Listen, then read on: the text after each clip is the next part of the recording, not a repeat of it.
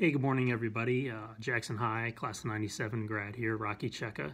Um, so I was asked to provide a video on uh, leadership and positivity, positivity, and uh, thanks for reaching out on that. I'm always happy to uh, to help uh, fellow high school athletes, especially uh, Jackson grads. So I think everyone at this point is aware of the impact that COVID's had, not just on sports, but I think our daily lives, to include work. Um, what I do know is that we will go through it uh, will make it. And at some point in the near future, there is going to be a return to normal, normalcy, um, although that uh, although it may not be the old normal or the normal that we're uh, we're used to. Um, I think with this current situation, uh, like much in life, uh, you know, a lot can be told about someone and how they react and handle situations, in particular uh, adversity. I would say from an athletic perspective, I see this there being kind of two situations that high school athletes may find themselves in uh, right now. And I think the first being a senior um, and not being able to participate in your sport uh, your senior year.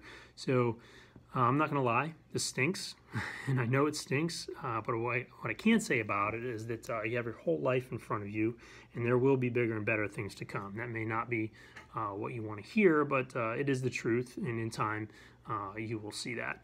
Um, you know, for the people in the situation, you may also be saying, "Well, that's kind of easy for you to say," but I would say, you know, I not so fast in that. I, I do know very much uh, what that's like to not be able to participate. As um, you know, my senior season, I had a, a back injury. Uh, I was able to play uh, through the football season uh, with it, by but by the end of football season, it had gotten to the point that uh, it didn't allow me to to wrestle uh, my senior year. So.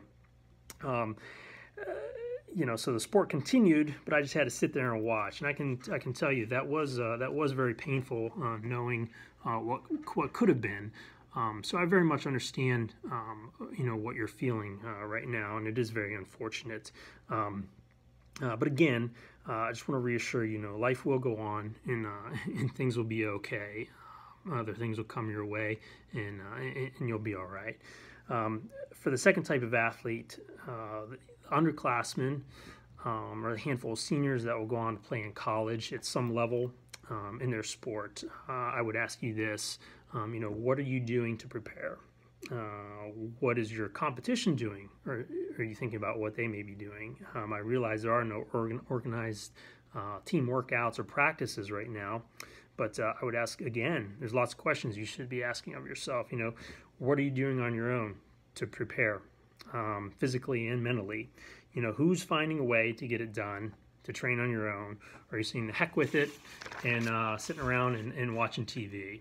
Um, so you know, hey, who's who's figuring it out? Who's in their uh, backyard running hills? Who's flipping tires? Who's who's doing something to challenge themselves physically and mentally uh, to maintain uh, peak performance? You know, uh, who's who's mentally preparing? Like what I said, who's watching film? Who's studying the competition? Because um, I can tell you, uh, for the second group of athletes, the underclassmen, those will, will continue on uh, in college. A time will come when we start competing again and uh, and when we do, it'll become apparent who the people were that found a way and uh, to get it done, and who maintained their physical and uh, mental preparedness, and who kind of just shrugged their shoulders and just the heck with it. So I would highly encourage you to um, you know take control of the situation. Don't let it control you. Take some initiative, get creative, and, and figure out a way to uh, get it done. So, um, kind of in closing, um, kind of a third thing I would like to mention too is, is to use the situation to develop your mental toughness and resiliency. Um, so this is, I think, something just about all of our society could probably use a, a big dose of uh, right now. So so use it to your advantage. Again, it's all on how you uh, and how you handle it. So um, you know, use a situation to come out stronger on the other side. But uh, like I said earlier, uh, that's a decision that you're going to have to make, and that's up to you.